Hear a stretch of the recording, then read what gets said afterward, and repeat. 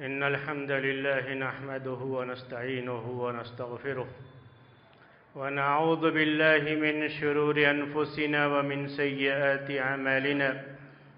من يهده الله فلا مضل له ومن يضلله فلا هادي له وأشهد أن لا إله إلا الله وحده لا شريك له وأشهد أن محمدا عبده ورسوله يا أيها الذين آمنوا اتقوا الله حق تقاته ولا تموتن إلا وأنتم مسلمون.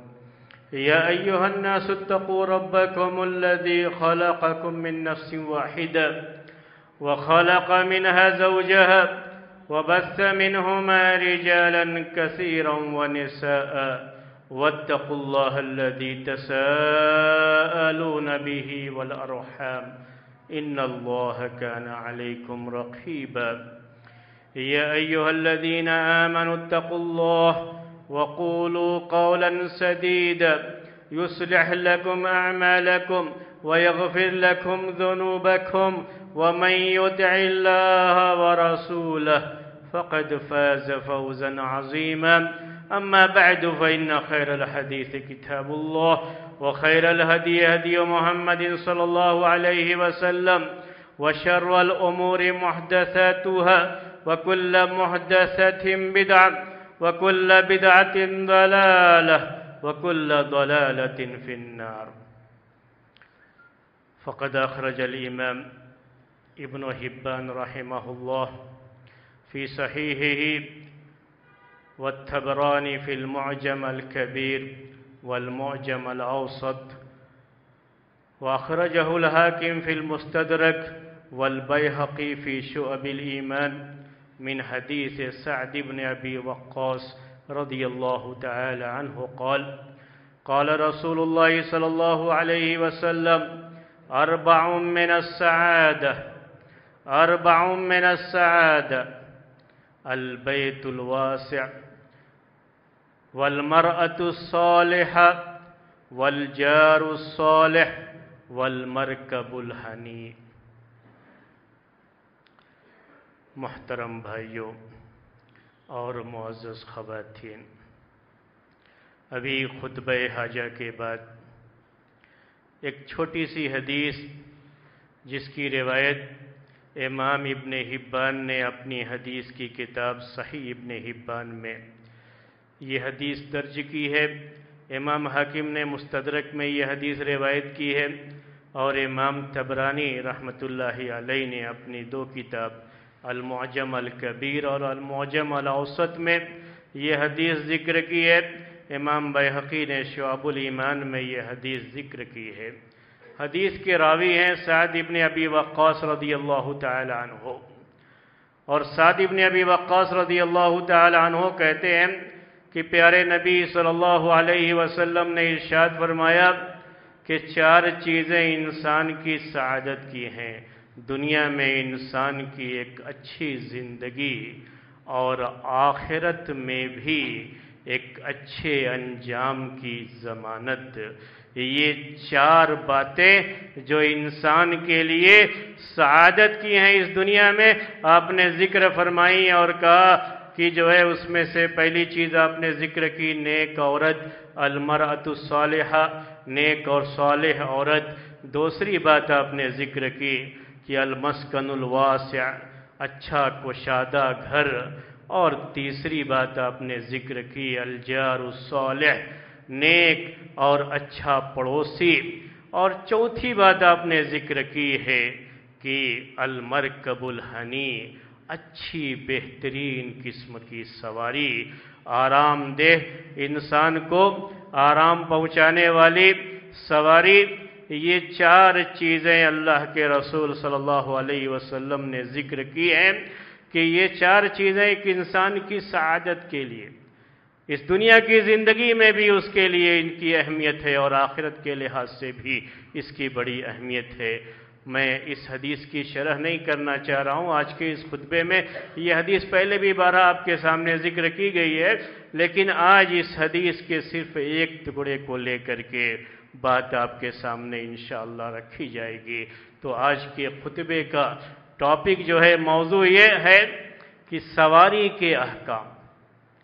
چار چیزوں میں سے ایک چیز اللہ کے رسول صلی اللہ علیہ وسلم نے ذکر کی ہے، وہ کیا ہے؟ سواری کا مسئلہ۔ بہترین سواری انسان کے لیے، تو اس اسلام میں اس کے بھی کچھ احکام ہیں، اس کے بھی آداب ہیں۔ تو آج کے اس خطبے میں انشاءاللہ آپ کے سامنے یہی بات ذکر کی جائے گی، سواری کے تعلق سے۔ سواری کے بارے میں اللہ تبارک و تعالیٰ نے قرآن میں بھی ذکر کیا ہے کہ یہ انسانوں کے لیے بہت بڑی نعمت ہے جو اللہ تبارک و تعالیٰ نے انسانوں کو عنایت فرمائی ہے۔ تو سواری کسی انسان کے پاس ہونا، یہ اللہ تبارک و تعالیٰ کی بہت بڑی نعمت ہے۔ یہ اس کو ذہن میں رکھنا چاہیے ہمیشہ کہ یہ اللہ تبارک و تعالیٰ کی بہت بڑی نعمت ہے۔ یہ اس زمانے میں جو سواریاں تھیں اللہ کے رسول صلی اللہ علیہ وسلم کے زمانے میں، تو دو ہی طرح کی سواریاں تھیں اس زمانے میں۔ اسی لیے قرآن میں دو ہی طرح کی سواریوں کا بھی ذکر آیا ہوا ہے۔ ایک جو ہے، اگر کوئی آدمی پانی میں، سمندر میں سفر کر کے ایک جگہ سے دوسری جگہ اس کو جانا ہوتا تھا تو کشتیاں استعمال کرتے تھے اور کشتیوں پر سوار ہو کر کے کشتیاں جسے آپ شپ کہتے ہیں انگلش میں، تو یہ یا بوٹ کہہ لیتے ہیں۔ تو ان جو ہے شیپ اور بوٹ پہ سواری کر کے وہ پانی میں ایک جگہ سے دوسری جگہ جایا کرتے تھے۔ اس زمانے میں یہ سواری موجود تھی اور دوسری سواری جو اس زمانے میں تھی وہ جانوروں کی سواری تھی۔ کہ جانوروں کی پیٹھ پر لوگ سواری کیا کرتے تھے، گھوڑے کی سواری کرتے تھے، اونٹ کی سواری کرتے تھے۔ تو جانوروں کی سواری یہ دوسری قسم کی سواری تھی۔ اللہ تبارک و تعالی نے قرآن میں ان دونوں طرح کی سواریوں کا ذکر فرمایا ہے اور بڑے ہی اچھے انداز میں اس بڑی نعمت کا ذکر کیا کہ یہ جانور جو انسانوں سے کہیں زیادہ طاقتور ہوتے۔ اور یہ جانور اس کے باوجود بھی یہ انسان اللہ تبارک و تعالی نے جانور کو ایسا بنایا کہ یہ انسانوں کے تابع ہیں۔ یعنی جیسا انسان چاہتا ہے اسے استعمال کرتا ہے اور یہ آسانی سے جو ہے استعمال ہوتے ہیں۔ حالانکہ ان کے پاس انسانوں سے کہیں بڑھ کر کے طاقت ہوتی ہے۔ اسی لیے ایک جو ہے جانور پہ کئی آدمی سواری کرے، کوئی حرج کی بات نہیں ہوتی ہے، کیونکہ وہ جانور اگر اتنا بوجھ اٹھا سکتا ہے تو اس پر سواری بھی کی جا سکتی یہ اللہ تبارک و تعالیٰ کی نعمت، اور اللہ تبارک و تعالیٰ نے اس نعمت کا خاص طریقے سے ذکر فرمایا۔ تو یہ اس زمانے کی سواریاں تھی میرے بھائیوں۔ آج کے زمانے کی جو سواریاں ہیں، آج کے زمانے کی سواریاں، اس زمانے کی سواریوں سے کہیں زیادہ تیز رفتار، آرام دہ اور ہر طرح کی سہولتیں رکھتی ہیں یہ سواریاں میرے بھائی۔ جب اس زمانے کی سواریوں کے بارے میں اللہ تبارک و تعالیٰ نے کہا کہ یہ اللہ تبارک و تعالیٰ کی بڑی نعمت ہے، تم اس نعمت کا شکر ادا کرو، اپنے اس رب کی نعمت کا شکر ادا کرو۔ تو آج کی جو تیز رفتار سواریاں ہیں، ان پر جب ہم سواری کرتے ہیں، تو ہمیں ہمیں اپنے رب کا کتنا شکر گزار ہونا چاہیے۔ یہ سواری کے آداب میں سب سے پہلا ادب ہے۔ یہ سب سے پہلا حکم ہے۔ میرے بھائیوں میری بہنوں، اس بات کو نوٹ کر لو۔ اللہ تبارک و تعالیٰ کا یہ بڑا فضل و کرم ہے ہمارے اوپر کہ شاید ہی ہم میں سے کوئی ایسا شخص ہو جس کے پاس سواری کا کوئی سادھن نہ ہو۔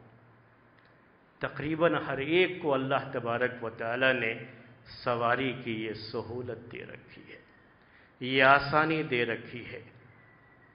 مختلف طرح کی سواریاں ہیں جو اللہ تبارک و تعالیٰ نے ہمیں عنایت کر رکھی ہیں۔ پہلی چیز جو ہم پر واجب ہوتی ہے وہ کیا ہے کہ جب بھی ہم اس سواری پر سوار ہوتے ہیں، تو فوری طور پر ہمارا ذہن اپنے رب کی اس نعمت کی طرف جانا چاہیے۔ کہ یہ ہمارے رب کی، ہمارے اوپر کتنی بڑی عنایت ہے، کتنا بڑا کرم ہے، کتنا بڑا فضل ہے کہ آج ہمیں یہ سواری میسر ہے جس پر ہم سوار ہو کر کے کہیں بھی آسانی کے ساتھ جا سکتے ہیں۔ ورنہ یہ پیدل لوگوں کو چل کے جانا پڑتا تھا۔ لوگ تھک جاتے تھے۔ وقت بہت لگتا تھا۔ پریشانیاں الگ تھیں۔ لیکن اللہ تبارک و تعالی نے ہمیں یہ سواریاں نصیب فرمائی ہیں۔ اور سواری جتنی عمدہ ہو جتنی تیز رفتار ہو، اتنی ہی سواری کی اور اہمیت بڑھ جاتی ہے۔ اور اللہ تعالیٰ کی یہ نعمت اور زیادہ اس کا شعور اور احساس ہونا چاہیے کہ اللہ تعالیٰ نے اتنی بڑی نعمت ہمیں دے رکھی ہے۔ پہلا میرے بھائیوں ادب یہ ہے۔ پہلا حکم اس کے بارے میں یہ ہے۔ آج ہمارے پاس بہت سی تیز رفتار اور آرام دہ سواریاں موجود ہیں۔ اور اگر آپ اس کے بارے میں غور کریں گے، تو سب سے پہلے اس کی طرف جو تحریک پیدا کی ہے، انسانوں کے اندر تحریک پیدا کی ہے، وہ اللہ تبارک و تعالی نے خود پیدا کی ہے۔ جب پیارے نبی صلی اللہ علیہ وسلم کو اسرا اور معراج کرانا تھا، وہ جو سفر تھا اسرا کا، کہ آپ کو مکے سے بیت المقدس تک پہنچانا تھا۔ تو اللہ تبارک و تعالی نے اپنے رسول کے لیے براق کی سواری بھیجی تھی۔ وہ آپ بار بار سن چکے ہیں۔ صرف یہاں پیش کرنا کیا ہے کہ براق کی یہ سواری اتنی تیز رفتار سواری تھی کہ ویسی تیز رفتار سواری نہ آج تک کسی جو ہے انسان نے دیکھی ہے اور نہ ویسی کسی سواری کا وہ تصور کر سکتے یہ اس زمانے کی سواری ہے جب لوگ جانوروں کی پیٹھ پر سواری کر کے اتنی دور کا سفر کرتے تھے اور مہینوں سفر میں لگ جاتا تھا۔ اللہ تبارک و تعالیٰ نے یہ دکھایا کہ دیکھو سواری ایسی بھی ہو سکتی ہے جو اتنی تیز رفتار ہو کہ وہ سفر جو آپ مہینوں میں طے کرتے ہو، وہ گھنٹوں میں بھی طے کیا جا سکتا ہے۔ یہاں سے ایک تحریک پیدا ہوتی ہے انسانوں کے اندر کہ ہمیں اس کے بارے میں ریسرچ کرنا چاہیے، تحقیق کرنی چاہیے، اس سلسلے کو آگے بڑھانا چاہیے۔ اور جہاں تک ہو سکے اچھی سے اچھی سواری ایجاد کرنے کے بارے میں سوچنا چاہیے۔ یہ سواریوں کے بارے میں یاد رکھیے، یہ سب سے پہلی چیز جو انسانوں کی تحریک کا سبب بنتی ہے۔ آج میڈیکل سائنس میں جو دنیا بہت ترقی کیے ہوئے اور ہم میں سے ہر کوئی جانتا ہے کہ میڈیکل سائنس میں آج کتنی ترقی ہے۔ لیکن میڈیکل سائنس کی یہ ساری ترقی میرے بھائیوں پیارے نبی صلی اللہ علیہ وسلم کی ایک حدیث ہے، اسی حدیث کو سامنے رکھ کر کے لوگوں نے اپنی تحقیق اور ریسرچ کو آگے بڑھایا۔ وہ حدیث کیا ہے کہ ما انزل اللہ من دائن الا انزل له دوا کہ اللہ تبارک و تعالی نے جو بھی بیماری نازل کی ہے، اس کے لیے دوا بھی نازل کی ہے۔ یہ حدیث انسان کو تحریک دیتی ہے کہ دوا ہے، ہمارا کام یہ ہے کہ ہم اس دوا کو تلاش کریں۔ یہاں سے انسانوں کے اندر تلاش کرنے، جستجو کرنے، ریسرچ کرنے، اس کا جو ہے یہ جذبہ اور اس کی رغبت اور یہ شوق بھڑکتا ہے اور انسان اس کے پیچھے لگتا ہے۔ اور آج آپ دیکھ رہے ہیں کہ اس جو ہے میدان میں انسانوں نے کتنی ترقی کی۔ یہ سب اللہ تبارک و تعالیٰ کا کرم ہے۔ سواری کے تعلق سے بھی ایسے ہی ہوا میرے۔ تیز رفتار سواریوں کی ایجاد شروع ہوئی۔ اور دن بدن آرام دہ اور تیز ترین سواریوں کا سلسلہ یہ شروع ہوا۔ اور آج آپ کے سامنے جو سواریاں موجود ہیں، یہ سواریاں چار طرح کی سواریاں موجود ہیں۔ ایک تو وہ سواری ہے میرے بھائیوں جس سے آپ فضا میں سفر کرتے ہیں، ہوا میں سفر کر کے۔ اللہ تعالیٰ نے ہمیں بازو تو نہیں دیے، پر تو نہیں دیے کہ ہم ہوا میں اڑ کر کے کہیں جا سکیں۔ لیکن اللہ تبارک و تعالیٰ نے یہ پہلے دکھایا دنیا کو۔ اپنے نبی سلیمان علیہ السلام کو یہ معجزہ دے کر کے کہ وہ ہوا میں اڑ کر کے ایک جگہ سے دوسری جگہ چلے جایا کرتے تھے۔ اللہ تبارک و تعالیٰ نے ان کے اندر جو ہے یہ چیز دی، ان کو یہ قدرت دی، ان کو یہ طاقت دی۔ دنیا کو یہ پتہ ہے کہ اگر انسان اپنی عقل کو استعمال کرے تو وہ پرندہ تو نہیں ہے، لیکن پرندے کی طرح سے وہ بھی اڑ کے کہیں بھی جا سکتا ہے۔ اور انسانوں نے یہ تیز رفتار سواری ایجاد کی۔ کس کا کرم ہے یہ؟ یہ صلاحیت کس نے دی ہے؟ یہ سوچنے کی، کسی چیز کو ایجاد کرنے کی، بنانے کی یہ صلاحیت کس نے دی ہے؟ اللہ تبارک و تعالیٰ نے دی ہے۔ جب سواری کرتے ہو تو سواری پر پیر رکھتے ہی فوری طور پر، پہلے تو ہم نے آپ سے کہا پہلا ادب کیا ہے؟ کہ شکر گزاری کا جذبہ ہو کہ یہ اللہ تبارک و تعالیٰ کی کتنی بڑی نعمت ہے ہمارے لیے۔ اور دوسرا یہ ہے کہ اس پر قدم رکھتے ہی زبان سے یہ ادا ہونا چاہیے کہ سبحان اللہ سخر لنا هذا وما كنا له مقرنين وإنا إلى ربنا لمنقلبون۔ قرآن میں سکھایا اللہ تبارک و تعالی نے عام طریقے سے بچوں کو یہ دعا سکھائی جاتی ہے کہ سواری پر سوار ہونے سے پہلے یہ دعا پڑھ یہ دعا کیا ہے؟ یہ وہ احساس ہے جو ایک انسان کو سواری پر سوار ہونے کے وقت اس کو یہ احساس ہونا چاہیے کہ کتنی بڑی نعمت ہے رب کی۔ سبحان اللہ سخر لنا هذا۔ بڑی پاک ہے وہ ذات۔ جس نے ہمارے لیے یہ چیز ہمارے تابع کر دیا، ہمیں یہ صلاحیت دی کہ ہم یہ چیز جو ہے استعمال کر سکتے ہیں۔ اس کو ہوا میں اڑا سکتے ہیں، زمین پر چلا سکتے ہیں، سمندر میں اسے تیرا سکتے ہیں۔ اللہ تبارک و تعالی نے ہمیں یہ صلاحیت یہ اس کی نعمت ہے، یہ اس کا فضل ہے، یہ اس کا کرم ہے۔ اور کتنی پاک ہے وہ ذات جس نے اسے ہمارے لیے مسخر کیا، ہمارے دعوے کیا۔ وما کننا لہو مقرن یہ ہمارے بس کی بات نہیں تھی۔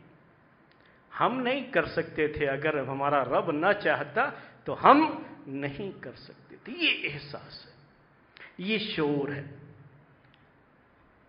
اور جب یہ آدمی تصور کر لے، اچھی طرح سے ذہن میں بیٹھا لے کہ یہ سواریاں اللہ تبارک و تعالیٰ کی کتنی بڑی نعمت ہے اور اس نعمت کے شکرانے کے طور پر جب سواری کرتا ہے، تو یہ اللہ کے لیے یہ ذکر اس کی زبان سے ادا ہوتا ہے۔ سبحان اللہ دی سخر لنا هذا۔ وہیں ایک تیسری چیز بھی، وہ تیسرا ادب ہے سواری کا، وہ یہ ہے کہ ساتھ میں یہ بھی یہ انسان یاد کرے اس وقت کہ آج یہ سواریاں ہمیں ایک جگہ سے دوسری جگہ پہنچا رہی آج ہم اس ہوائی جہاز پر سوار ہوئے ہیں، تو یہاں سے ہم دوسرے شہر کو، دوسرے ملک کو پہنچ جائیں گے۔ ٹرین کی ہم نے سواری کی ہے تو ایک جگہ سے دوسری جگہ پہنچ جائیں گے۔ گاڑی جو ہے ہم نے کار کی سواری کی ہے تو یہ کار ہمیں ایک جگہ سے دوسری جگہ پہنچا دے رہی ہے۔ ہم ٹو ویلر پہ بیٹھے ہوئے ہیں۔ اپنی جو ہے سواری ٹو ویلر جو ہے یہ ہمارے پاس ہے، ہم اس پر بیٹھے ہوئے ہیں۔ یہ سواری ہمیں ایک جگہ سے دوسری جگہ پہنچا رہی ہے۔ تو اس کے ساتھ یہ شعور پیدا ہو کہ آج یہ سواریاں ہمیں ایک جگہ سے دوسری جگہ پہنچا رہی ہیں۔ ایک دن ایسا بھی آئے گا کہ ہم اس دنیا سے بھی دوسری دنیا کو پہنچ جائیں گے۔ یہ شعور آنا ہے، یہ اس کے آداب میں سے۔ اور اسی لیے اللہ تبارک و تعالی نے ہمیں جو دعا بتائی اس کے بارے میں۔ اس کے آخر میں ہمیں یہ سکھایا گیا کہ وہ انا الا روبینا لمنقلبون۔ کہ ہم سب اپنے رب کی طرف ہی لوٹ کر کے جانے والے ہیں، پلٹ کر کے جانے والے ہیں۔ یہ احساس پیدا ہو۔ آج دنیا میں ہم ایک جگہ سے دوسری جگہ جا رہے ہیں۔ ایک دن ایسا بھی آئے گا کہ دنیا سے ہی ہمارا سامان آخرت کے سفر پہ نکل جائے۔ اور آخرت کے سفر میں ہم چلے جائیں گے۔ یہ میرے بھائیوں ایک سواری پر سواری کے آداب میں سے تیسری بات تھی جو ہم نے ذکر کی۔ چوتھی بات سواری کے آداب کے بارے میں۔ چوتھی بات یہ ہے اس سلسلے میں کہ ہمیشہ یہ بات ذہن میں رکھیے کہ سواری اچھی سے اچھی ہو، جتنی انسان کی وسعت ہے، طاقت ہے، اس کے لحاظ سے سواری اچھی سے اچھی سواری کا انتخاب کرے ہو۔ بہترین سواری۔ بہترین سواری کے اندر تین چیزیں میرے بھائیوں اہم ہوتی ہیں۔ اور یہ تینوں چیزیں مختلف احادیث اور جو ہے، اس کی روشنی میں میں نے یہ باتیں آپ جو ہے اخذ کی ہیں، وہ آپ کے سامنے پیش کر رہا ہوں کہ سب سے پہلی بات یہ ہے کہ سواری آرام دہ ہو۔ آرام دہ سواری۔ جتنی آرام والی سواری ہوگی، اتنی ہی وہ بہتر سواری مانی جاتی ہے۔ پیارے نبی صلی اللہ علیہ وسلم نے کیا کہا؟ انسانوں کی سعادت کے بارے میں، اس دنیا کی زندگی میں، المرکب الحنی کہا المرکب الحنی کا مطلب یہ ہوتا ہے کہ خوشگوار سواری، ایک ایسی سواری جو انسان کے لیے کمفرٹیبل ہے۔ اطمینان بخش ہے، وہی عربی میں اسے ہنی کہا جاتا ہے۔ آج کے دور میں اتنی جو ہے آرام دہ سواریاں، باہر چاہے ٹمپریچر کتنا بھی ہو، لیکن اندر اے سی ہونے کی وجہ سے کچھ بھی احساس نہیں ہوتا سفر کا۔ سواری کرتے ہیں، کتنی آرام دہ سواری ہے میرے پہلے جانوروں کی پیٹھ پہ سواری کرتے تھے، جانور جو ہے، جب بہت تیز دوڑتا ہے تو اس کی پیٹھ پر سوار آدمی بھی اسی لحاظ سے اس کی حرکت ہوتی ہے۔ تھک جاتے تھے اگر کہیں ایک جگہ سے دوسری جگہ گئے۔ لیکن آج ہمارے لیے جو یہ سواریاں ہیں، میرے بھائیوں کتنی آرام دہ ہیں۔ جب ہم سواری کرتے ہیں تو اپنے رب کا ہمیں کتنا شکر گزار ہونا چاہیے۔ یہ ہم نے کہا کہ اچھی سواری کی یہ پہلی چیز ہے۔ پہلی بات کیا ہے کہ وہ سواری جتنی زیادہ آرام دہ ہوگی، اتنی ہی اچھی سواری ہے۔ دوسری بات یہ ہے کہ وہ سواری تیز رفتار ہو، تیز بھاگنے والی ہو۔ اس کی لمٹ ہوتی ہے، اسی لمٹ کے لحاظ سے وہ تیز بھاگنے والی ہو۔ پیارے نبی صلی اللہ علیہ وسلم کے زمانے میں۔ جو سواریاں تھیں، یہ سواریاں جانوروں کی پیٹھ پر وہ سواری کیا کرتے تھے، تو جو جانور تیز بھاگتا تھا، وہ اچھی سواری مانتے تھے۔ اور جو جانور بہت سست ہوتا تھا، بار بار اسے مارنا پڑتا تھا، تب جو ہے وہ بھاگتا تھا، تو اس کو اچھی سواری نہیں کہتے تھے۔ میں اس سلسلے میں دو حدیثیں آپ کو یاد دلاتا ہوں۔ ایک حدیث اس سلسلے میں یہ ہے کہ اللہ کے رسول صلی اللہ علیہ وسلم کہتے ہیں کہ چار چیزیں انسانوں کی دنیا کی زندگی میں اس کو پریشان کرنے کے لیے، پریشان رہنے کے لیے چار چیزیں۔ جیسے دنیا کی سعادت کے لیے چار چیزیں، ویسے ہی پریشانی کے بارے میں بھی آپ نے کہا چار چیزیں ہیں۔ اس میں سے ایک چیز ہے کہ سواری، ایسی سواری جو بہت دھیمی رفتار والی ہو، جس کو بار بار مارنے سے آدمی تھک جاتا ہے اور پھر بھی یہ سواری اس سے ٹائم پر اس کی جگہ پر نہیں پہنچاتی ہے۔ تو دوسری اہم چیز اچھی سواری کے لیے کیا ہے؟ کہ سواری تیز رفتار ہو، صحیح رفتار سے چلنے والی ہو۔ اس کا جو ہے، اچھی سواری میں یہ چیز بھی میرے بھائیوں ہے ایک دوسری حدیث جابر رضی اللہ تعالی عنہ کی۔ سفر میں تھے ایک مرتبہ وہ اللہ کے رسول صلی اللہ علیہ وسلم کے ساتھ۔ سفر میں جا رہے ہیں، وہ بھی اونٹ پر سوار تھے۔ اونٹ کی جو سواری تھی ان کی، وہ اونٹ انہیں بہت ستا رہا تھا سب سے پیچھے ہو جاتے پوری جماعت میں لوگ جا رہے ہیں۔ وہ قافلہ ہوتا تھا، قافلے میں لوگ چلتے تھے۔ تو جو پیچھے رہ جائے گا، اس کو بڑی کوفت ہوتی تھی، بڑی پریشانی۔ وہ بار بار جانور کو جو ہے کر رہے ہیں، کوشش کر رہے ہیں کہ ذرا تیز لے کر کے چلے۔ لیکن وہ جانور چل نہیں رہا تھا۔ بہت پریشان ہو گئے۔ پیچھے سے پیارے نبی صلی اللہ علیہ وسلم آ رہے تھے۔ آپ نے دیکھا کہ یہ جابر رضی اللہ تعالیٰ عنہ بہت پریشان ہے اپنی سواری کو لے کر کے۔ کہتے ہیں جابر رضی اللہ تعالیٰ عنہ کہ اتنا میں پریشان ہو گیا کہ اس ٹائم میرے دل میں یہ خیال آیا کہ اگر کوئی آدمی اسے کوڑی کے بھاؤ بھی خریدنا چاہے تو میں اسے بیچ دوں گا۔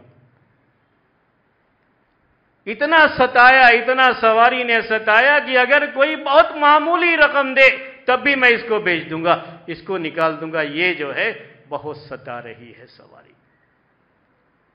اس کے بعد اللہ کے رسول صلی اللہ علیہ وسلم جب پیچھے سے آئے اور دیکھا ان کی پریشانی کو، تو آپ نے ان کی سواری کے لیے دعا کیا۔ اور آپ کی برکت سے جو آپ نے اسے ایک مرتبہ تھپکی لگایا، تو اس کی برکت سے یہ جو ہے، سواری اب اتنا تیز بھاگنے لگی۔ کہ کہتے ہیں جابر رضی اللہ تعالیٰ کہ اس کے بعد مجھے روکنا پڑتا تھا تاکہ میں اللہ کے رسول صلی اللہ علیہ وسلم کے ساتھ ساتھ رہوں، آگے نہ بڑھ جائے یہ اتنا تیز بھاگنے لگے۔ جب یہ تیز چلنے لگی سواری تو کہتے ہیں کہ اللہ کے رسول صلی اللہ علیہ وسلم نے مجھ سے پوچھا کہ جابر کیا یہ اونٹ بیچو گے مجھے؟ مجھے بیچ دو گے؟ کہا کہ اگر اس سے پہلے کوئی پوچھتا تو میں فوراً بیچ دیتا تھا۔ لیکن اب تو ایسا ہے کہ یہ سواری بڑی تیز رفتار ہو گئی، بڑی تیز چل رہی ہے۔ اب میں کیسے جو ہے؟ لیکن اب پیارے نبی صلی اللہ علیہ وسلم پوچھ رہے ہیں تو میں انکار بھی نہیں کر سکتا۔ تو جو ہے وہ تیار ہو جاتے ٹھیک ہے، میں آپ کو بیچتا ہوں۔ آپ کا مقصد خریدنا نہیں تھا۔ آپ نے طے کیا، قیمت بھی طے کیا، بعد میں اونٹ اور جو ہے وہ قیمت سب انہی کو دے دیا۔ وہ ایک لمبی حدیث ہے، یہاں مقصد یہ ہے کہ جو سواری بہت ستاتی ہے راستے میں، ایسی سواری اچھی سواری نہیں کہلاتی ہے۔ ایسی سواریوں کے لیے پھر ایسا ہوتا ہے کہ بہتر ہے کہ آدمی اسے بیچ دے۔ اسے جو ہے نکال دے اپنے پاس اور دوسری سواری کا انتظام کر لے، جو سواری اچھی ہو اور جو ہے کوئی نئی جو ہے سواری خرید لے، جو اس کے لیے آرام دہ بھی ہے اور تیز رفتار ہے، تیزی سے چلتی ہے، جس میں اس کو پریشانی نہیں ہوتی ہے۔ تیسری بات جو ہے، اچھی سواری کے تعلق سے تیسری اہم چیز یہ ہے کہ وہ بار بار خراب ہونے والی سواری نہ ہو۔ ایسا نہ ہو کہ راستے میں کہیں جا رہے ہیں، آج کے زمانے میں کہوں تو بار بار گاڑی بند ہو جا رہی ہے۔ بار بار پریشانی ہو رہی ہے، بار بار کک مارنا پڑتا ہے، بار بار اسٹارٹ کرنا پڑتا ہے۔ آج کے دور کے لحاظ سے اس زمانے میں جانوروں میں ایسا ہوتا تھا، اس سواری میں کہ کبھی کبھی یہ جانور اڑ جاتے تھے۔ مالک کتنا بھی چاہے کہ آگے بڑھے تو آگے بڑھتے ہی نہیں تھے۔ اس کو کہتے ہیں سواری کا اڑ جانا۔ اس زمانے میں کہتے تھے اڑ جانا۔ ایک مرتبہ پیارے نبی صلی اللہ علیہ وسلم کی سواری۔ آپ کی سواری جب ہدیبیہ کے آپ سفر میں تھے تو اس موقع پر جب ہدیبیہ کی جگہ میں پہنچے تو وہاں پہ وہ سواری بیٹھ گئی۔ اٹھ ہی نہیں رہی تھی۔ بہت کوشش کیا کہ آگے جائے یہ، لیکن وہ اٹھ ہی نہیں رہی تھی۔ تو صحابہ نے کہا، پیارے نبی صلی اللہ علیہ وسلم کی سواری کے بارے میں کہ قد خلعت القصوہ۔ آپ کی سواری کا نام قصوہ تھا۔ قد خلعت القصوہ، یہ قصوہ جو اڑ گئی ہے یعنی اب یہ آگے نہیں جانا چاہتی۔ اب یہ ستائے گی، پریشان کرے گی۔ آپ نے کہا کہ نہیں نہیں۔ میری سواری کی یہ عادت نہیں ہے۔ اچھی سواری کبھی بھی ایسی نہیں ہوتی اصل۔ اچھے لوگ ایسی سواریاں نہیں رکھتے جو سواری بار بار ستا رہی ہے، پریشان کر رہی ہے۔ آپ نے کہا کہ نہیں، یہ اس کی عادت نہیں ہے یہ۔ پھر آپ نے کہا کہ اصل میں اس کو روک دیا ہے۔ اس ذات نے، جس ذات نے ہاتھی کو روک دیا تھا آگے بڑھنے سے۔ یعنی یہ اشارہ تھا کہ اللہ تبارک و تعالی کے حکم سے یہ رک گئی ہے، آگے نہیں بڑھ رہی ہے کہ یہاں سے آگے بڑھنے میں خطرہ ہے، آگے نہیں بڑھنا ہے، یہاں سے جو ہے۔ اس لیے یہ رک گئی ہے، ورنہ اس کی عادت نہیں۔ یہاں میں کس لیے پیش کر رہا ہوں اس کو؟ دلیل کہ ایسی سواری جو بیچ بیچ میں رک جائے، بند ہو جائے، ستائے، ایسی سواری، اچھی سواری نہیں مانی جاتی ہے۔ ایسی سواریوں کو اگر آدمی کے پاس گنجائش رہے تو اسے بدل لینا چاہیے۔ کیوں بدل لینا چاہیے؟ کہ یہ سواری بھی انسان کی زندگی میں سعادت کی ایک چیز ہے۔ یہ سعادت کیا ہے کہ انسان ٹائم پر کہیں پہنچنا چاہتا ہے، لیکن یہ سواری بار بار بیچ میں رک رہی ہے، بند ہو رہی ہے، تو آدمی ٹائم سے وہاں پہنچ نہیں سکتا۔ وہ پریشانیاں ہوں گی اس کو۔ تو ایسی سواری اسی لیے نہیں رکھنا چاہیے۔ ایسی سواری کا بیچ دینا وہ بہتر ہے۔ جو بھی اس کے ماہر لوگ ہوتے ہیں، ان کو اتنی پریشانی نہیں ہوتی، عام لوگوں کے لیے پریشانی ہوتی۔ سواری کے آداب میں سے میرے بھائیوں ایک ادب یہ بھی ہے کہ سواری کو صاف ستھرا رکھا جائے۔ سواری کو صاف ستھرا رکھا جائے۔ یہ اس کے آداب میں سے ایک ادب ہے۔ یہ تو ایک اسلامی جو ہے عمومی طور پر اسلامی آداب میں سے بات ہے کہ ہر چیز کی صفائی ستھرائی کا خیال رکھنا چاہیے، لیکن ایک سواری بھی، ایک مسلم کی سواری احساس ہونا چاہیے کہ یہ مسلمان کی سواری ہے۔ وہ اس کی صفائی کا پورا خیال رکھتا ہے۔ صفائی کے تعلق سے ایک بات اور بھی یاد رکھ لو، یاد رکھ لیجیے کہ سواری اگر سفید رنگ کی ہے تو یہ افضل ہے۔ یہ بہتر ہے۔ کسی بھی کلر کی ہو سکتی ہے سواری۔ وہ کلر کا کوئی مسئلہ نہیں ہے، لیکن اگر آدمی خریدتے ہوئے اس کا خیال کرے کہ سفید کلر کی ہو تو یہ افضل ہے۔ اللہ تبارک و تعالی نے اپنے رسول کے لیے جس سواری کا انتخاب کیا تھا، جسے ہم بوراک کہتے ہیں، اس کا سفید کلر کا بوراک تھا یہ، جو پیارے نبی صلی اللہ علیہ وسلم کو بیت المقدس تک پہنچا، یہ سفید کلر کی سواری۔ تو اس کا بھی خیال رکھنا چاہیے۔ بہتر ہے یہ کسی بھی کلر کی سواری ہو، کوئی مسئلہ نہیں ہے۔ سواری اگر انسان کے پاس کئی ایک ہے، ایسا بھی ہو سکتا ہے کہ ایک ہی انسان کے پاس کئی سواریاں ہیں۔ تو جب کئی سواری ہوتی ہے تو سواریوں کا نام بھی رکھا جا سکتا ہے۔ یہ جائز ہے۔ یہ بھی جو ہے، سواری کے آداب میں سے ایک ادب ہے کہ سواری کا نام بھی رکھ سکتے ہیں۔ اب کئی ایک جو ہے گاڑی ہے، کئی ایک سواری ہے، اس کے پاس کئی گاڑیاں ہیں۔ تو گاڑیوں کا نام ہو تو جو ہے کہہ سکتے ہیں ڈرائیور سے کہ فلاں گاڑی لے کر کے آؤ۔ اگر نام نہیں ہوگا تو پھر پریشانی۔ ویسے تو الگ الگ ماڈل اور الگ الگ کمپنی کی ہوتی ہے، اس کے لحاظ سے جان جاتے ہیں۔ جانوروں کے لیے چونکہ ایسی چیز نہیں ہوتی تھی، تو باقاعدہ اس کا نام رکھا جاتا تھا۔ پیارے نبی صلی اللہ علیہ وسلم کے پاس بھی کئی سواریاں تھیں۔ تو یہ آپ کی سواری قصوہ جو نام تھا، یہ اونٹ کی سواری ایک سواری کا نام ہے یہ۔ آپ کے پاس اس کے علاوہ بھی سواریاں تھیں، وہ جانور ہی تھے تو سواری کا نام خود پیارے نبی صلی اللہ علیہ وسلم نے بھی رکھا ہے۔ قصوہ نام تھا۔ آج بھی دیکھیں گے کہ بہت سارے لوگ اپنی گاڑیوں اور سواریوں پر قصوہ لکھے رہتے ہیں۔ یہ اصل میں آپ کی سواری کا نام تھا یہ جو ہے القصوہ۔ اور بھی جو ہے نام ہے دوسرے جو ہے سواریوں کے۔ یہ صرف ایک نام ہے جس کا ذکر ہوتا ہے۔ تو یہ بھی چیز ہے کہ اس کا نام بھی رکھا جا سکتا ہے۔ ایک تیسری بات، ایک جو ہے اور بات، کئی باتیں ہو چکی ہیں، تیسری نہیں ہے۔ اس کے آداب میں سے کہ جو اس کا جو بھی خرچہ ہے، اس زمانے میں خرچہ جو ہوتا تھا کسی بھی سواری کا، وہ یہ ہے کہ جانور کو چارہ ڈالنا پڑتا تھا۔ دو چیزوں کے بارے میں تاکید فرمائی پیارے نبی صلی اللہ علیہ وسلم نے۔ ایک چیز یہ کہ یہ جانور کی جو سواری ہوتی تھی، تو اس کا خیال رکھا جائے کہ جانور کو چارہ ٹائم پر مکمل ملنا چاہیے۔ اور اگر کہیں سفر پہ جا رہے ہیں، دور دراز سفر میں کہیں نکل رہے ہیں، تو سفر پر نکلنے سے پہلے اسے پانی پلا دیں، اس کا خیال رکھا جاتا تھا۔ میں نے پہلے حج کے تعلق سے آپ کو بتایا ہے۔ کہ آٹھویں ذیلجہ کو یوم الترویہ کہا جاتا تھا، کیونکہ اس دن حاجی لوگ اپنے اونٹوں کو جس پر وہ سواری کرتے تھے، پانی اچھی طرح سے پلا دیا کرتے تھے کہ اب اس کے بعد ان کو اسی اونٹ پر جو ہے سفر کر کے حج کو مکمل کرنا۔ تو کہیں بھی سفر پر نکلنے سے پہلے گاڑی کو اچھی طرح سے چیک کر لینا چاہیے، چاہے اس کے پانی کا معاملہ ہو چاہے جو ہے اس کے پیٹرول کا معاملہ ہو، جو بھی چیز ہے، ہم نے دیکھا بعض لوگوں کو کہ راستے میں کھڑے ہیں کہ پیٹرول ختم ہو گیا۔ غلط چیز ہوتی ہے۔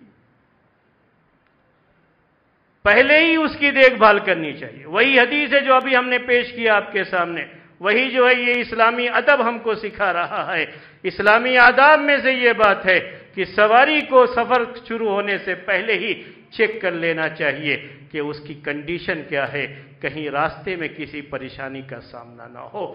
یہ انسان کے لیے ضروری ہے۔ اس کو پریکاشن بھی کہتے ہیں۔ احتیاط کے احتیاط کے طور پر اس کو اچھی طرح سے چیک کر لینا چاہیے۔ اس کے آداب میں سے ایک بات یہ بھی ہے کہ جتنی سواری کی کیپسٹی ہے، اس کی طاقت ہے۔ اس سے زیادہ کا اس کے اوپر بوجھ نہیں لادا جا سکتا۔ پیارے نبی صلی اللہ علیہ وسلم، جانور کی سواری کے وقت اس کا خاص طریقے سے خیال رکھنے کے لیے کہا۔ آج جو بھی ہمارے پاس سواریاں ہیں، اس میں بھی اس بات کا خیال رہنا چاہیے۔ اور اسی سلسلے کا ایک ادب یہ بھی ہے، میں تھوڑا جلدی میں پیش کر رہا ہوں آپ کے سامنے، کہ اگر جیسے ٹو ویلر ہے ہمارے پاس پیچھے اس پر سواری کسی کو بھی بیٹھا سکتے ہیں، جائز ہے یہ۔ عربی زبان میں اسے ردیف کہا جاتا ہے۔ اور پیارے نبی صلی اللہ علیہ وسلم، آپ کی عادت تھی یہ کہ جب آپ واپس آتے تھے سفر سے، تو بچے آتے تھے آپ کو جو ہے استقبال نظر آگے راستے میں کھیلتے ہوئے، تو آپ ان کو اٹھا کر کے اپنے ساتھ پیچھے بیٹھا لیا کرتے تھے۔ ان کو ردیف کہا جاتا ہے عربی زبان میں، جو پیچھے بیٹھے ہوئے ہیں۔ تو ابھی ہم جو پیچھے لوگوں کو بیٹھا لیتے ہیں، تو کوئی حرج نہیں ہے۔ صرف اس کا اتنا خیال ہوتا تھا کہ جانور کی طاقت سے زیادہ نہیں ہونا چاہیے۔ اس کا پورا پورا خیال رکھنا ہے۔ جانور کا بھی پورا پورا خیال۔ تو آج کی جو سواریاں ہیں، ان سواریوں کا بھی میرے بھائیوں ہمیں پورا پورا خیال رکھنا چاہیے۔ یہ سواری کے آداب میں چیز داخل ہے۔ سواری کے آداب میں یہ بھی بات ہے کہ آج سواریوں کے لیے ایک رفتار متعین ہوتی ہے کہ اس سواری کو اس رفتار سے زیادہ تیز نہیں چلایا جا سکتا۔ اس کے لیے ایک لمٹ ہوتی ہے جو متعین ہوتی ہے۔ اس کا بھی لحاظ کرنا ضروری ہے۔ اس کے بغیر اگر سواری کو چلاتے ہیں تو یہ ڈر ہوتا ہے کہ کسی حادثے کا شکار نہ ہو اور اسلام ہمیں یہ سکھاتا ہے کہ لا تلقو بی کو ملت تہلکا کہ تم اپنے آپ کو ہلاکت میں مت ڈالو۔ یہ بھی قرآن کی آیت ہے۔ قرآن کی اس آیت کی روشنی میں یہ ادب بھی سمجھ میں آتا ہے کہ سواری کو بھی اس کے لحاظ سے ہی ہمیں چلانا چاہیے کہ اس کی جو لمٹ ہے اس لمٹ کو کراس نہیں کرنا چاہیے۔ یہ چند باتیں تھیں جو سواری کے تعلق سے ہم نے آپ کے سامنے ذکر کی اور سواری کے تعلق سے جو اسلامی احکام اور ہدایات ہیں وہ پیش کی۔ آخر میں پھر آپ کو یاد دلاتا ہوں، یاد رکھیے، یہ سواریاں، یہ ہماری سعادت کی۔ اللہ تبارک و تعالی کی بڑی نعمت اور ہماری سعادت کی دلیل ہے یہ۔ کہ اللہ تبارک و تعالی نے ہمیں اس سے نوازا ہے اور ہمیں اس پر اپنے رب کا شکر گزار ہونا چاہیے۔ جب بھی سواری پر بیٹھتے ہیں تو شکر گزاری کا یہ جذبہ ابھرنا چاہیے اور زبان سے نکلنا چاہیے۔ سبحان اللہ سخر لنا هذا وما كنا له مقرنين وإنا إلى ربنا لمنقلبون۔ آج کیا یہ خطبہ اسی پر ختم کرتے ہیں۔ اللہ تعالیٰ سے دعا کرتے ہیں کہ اللہ تبارک و تعالیٰ ہماری زندگی میں ہر طرح سے سکون، سعادت اور خوشیاں بھر دے، ہماری دنیا کو بھی کامیاب بنائے اور آخرت میں بھی اللہ تعالیٰ ہمیں کامیابی سے ہم کنار کرے۔ آمین۔ وقل قولی هذا واستغفر الله لي ولكم ولسائر المؤمنين فاستغفروه انه هو الغفور الرحيم ورب الحليم